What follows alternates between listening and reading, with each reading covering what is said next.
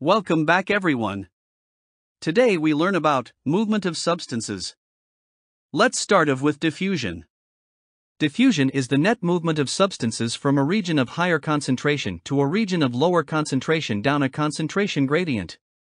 The characteristics of diffusion are as follows Diffusion is a passive transport, meaning it doesn't require energy.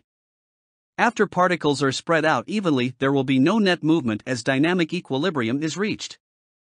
The rate of diffusion is the fastest in gas, followed by liquid and then solid. This is due to the arrangement of particles.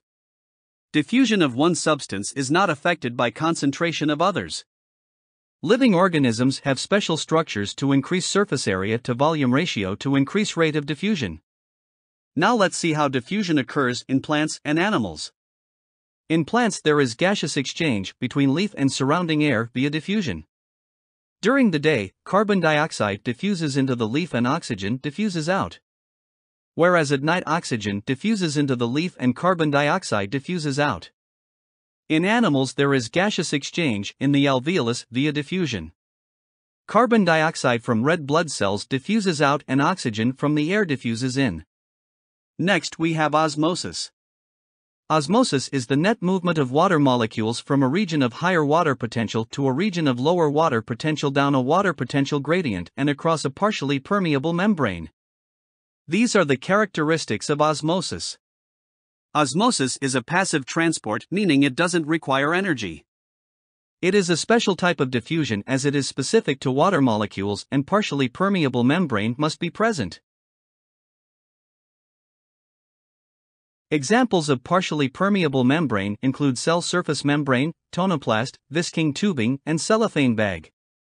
Substances that can pass through partially permeable membrane are water and gases. Water potential is the measure of tendency of water to move from one region to another. The higher the solute percentage, the lower the water potential. There are two types of solution hypertonic and hypotonic. In hypertonic solutions, it refers to a solution with lower water potential, hence a higher solute concentration.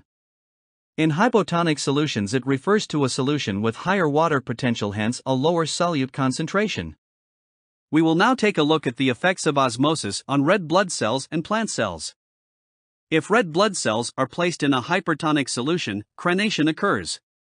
Water leaves the cell via osmosis and membrane of RBC starts forming little spikes the cell shrinks and becomes dehydrated, leading to cell death. If red blood cells are placed in hypotonic solution, hemolysis occurs.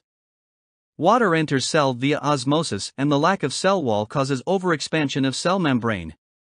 The RBC bursts and this causes cell death.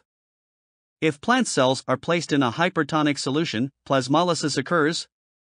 Water leaves the cell via osmosis and the vacuole decrease in size the cytoplasm shrinks away from the cell wall.